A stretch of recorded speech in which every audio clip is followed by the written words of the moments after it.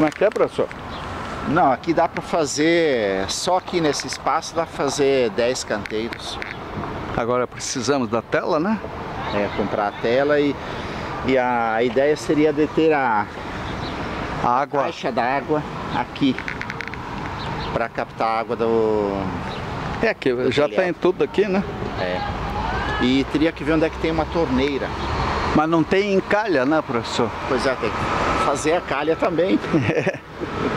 Tem que ter a calha Aqui com é a a caixa. captação da água de chuva. É. É, pluvial. Vou ter que achar uma torneira.